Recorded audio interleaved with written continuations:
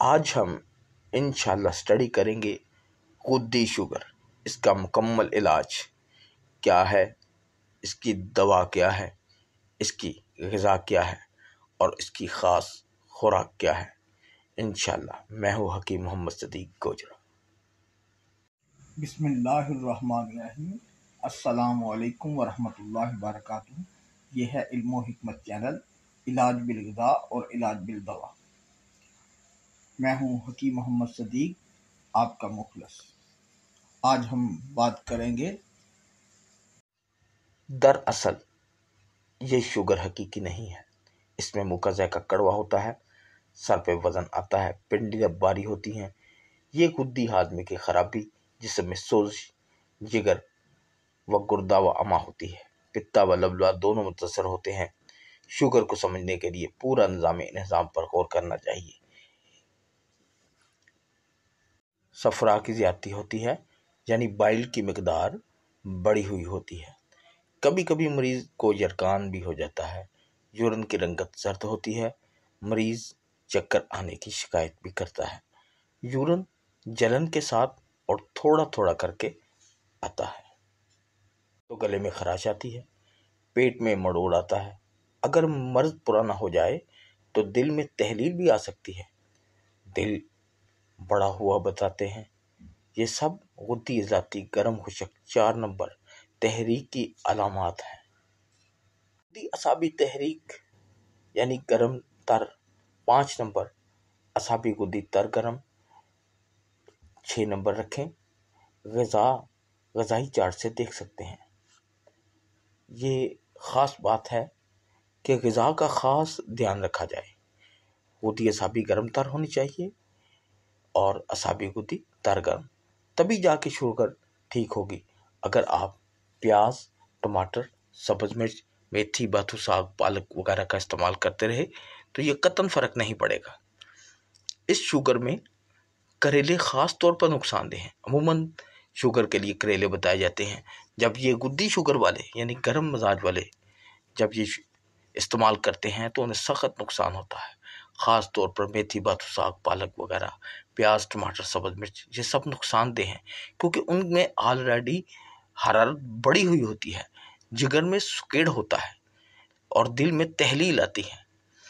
ये ख़ास अलामत हैं, जो अजलाती शुगर के नुस्खा जात हैं, वो गुद्दी को नहीं लगते और गुद्दी वाले असाबी को नहीं लगते। इसी तरह तीन शुगरें हैं असाबी, अजलाती, गुद्दी। तीनों के शुगरों के अलहदा अलहदा। नुस्खा जात हैं, इनकी गज़ा अलहदा है, इनकी दवा अलहदा है, जो कि डिटेल के साथ बयान कर दी गई है। इन फ़ायदा ये उठाएँ और आगे हम इसका दलिया बयान करेंगे।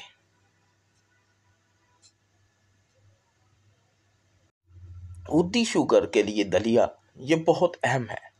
ये बहुत से मरीज़ शफा याब हुए हैं। अल्लाह पाक ने बहुत से लोगों को इससे शफा दी है। गोश्त बकरी में दलिया पका लें। गोश्त बकरी का ही होना चाहिए। ख़ास तौर पर देखना चाहिए कि बकरे का मजाज अलग है। वो चार नंबर है, वो जाती है, गर्म है। गर्म खुशक है, बकरी गर्म तर है। दोनों में बहुत फ़र्क है। यानी बकरा अगर ज़्यादा मकदार में को खा ले गर्म मजाज वाला तो उसे जरकान हो सकता है। अगर बकरी का शोरबा पतला सा बना कर दे दें तो यरकान दूर हो जाता है। इससे आप मेरी बात समझ जाएँ कि गुद्दी असाबी और गुद्दी ज़लाती, यानी कि चार और पाँच में तहरीक में क्या फ़र्क है? यानी कि कीमियाई, एक कीमियाई है, एक मशीनी है। कीमियाई वो तहरीक जिसमें मादे जिसम में जमा होते हैं। जैसे यरकान जिसम में जमा होता है, सफरा भी मादा जमा होता है तो यरकान ज़ाहर हो जाता है। इसी तरह जब ये अखराज पाए तो इसका इलाज है। ये ख़ास बात है, इसी नुक्ता नज़र से, इसी कानून के तहत ये दलिया लिखा गया है तो इन फ़ायदा उठाएँ। दलिया हमें गोश्त बकरी होना चाहिए, दलिया गंदम का होना चाहिए, मसाला, नमक, काली मिर्च, अदरक, ज़ीरा, सफ़ेद, धनिया, छोटी इलायची, बड़ी इलायची, बादाम डालकर पका लें। सौंफ भी डाल सकते हैं, ये अपनी मर्ज़ी है। घी, जैतून या बनोला ऑयल होना चाहिए, या देसी घी मक्खन में भी पका सकते हैं। इसके अलावा हरगिज़ नहीं होना चाहिए। जैसे सरसों का ऑयल या कुकिंग ऑयल दूसरा है, वो इस्तेमाल न किया जाए, वरना फ़ायदा न होगा। गुद्दी शुगर, आज हम इसका नुस्खा बयान कर रहे हैं। मुदब्बर सदफ प्लस मुदब्बर बैजा मुर्ग, हम वज़न दोनों ले लें। मुदब्बर अच्छी तरह होने चाहिए।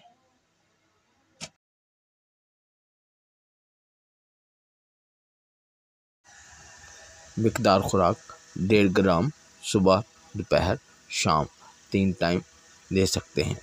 उम्र का ख्याल रखा जाए। छोटों के लिए दवा बहुत कम है, यानी एक बड़ा चार से एक बड़ा पाँच दें। चैनल को लाइक एंड शेयर करें, सब्सक्राइब करें। जजाकल्ला खैरा। इल्म हिकमत चैनल की तरफ़ से वसलाम